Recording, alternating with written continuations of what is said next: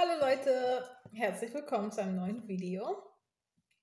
Um, before I start with the word of the day, I just want to remind you guys to subscribe to the channel and to join my WhatsApp group to get extras like weekly exercises, a weekly sum up of the uh, words of the day, and more. It's completely for free.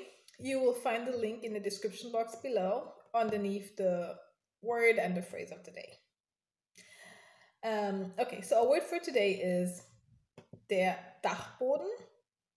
Der Dachboden, which means the attic. Dachboden.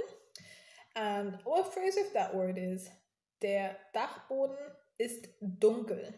Der Dachboden ist dunkel. The attic is dark.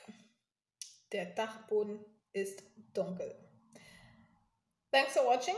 Keep practicing and see you tomorrow.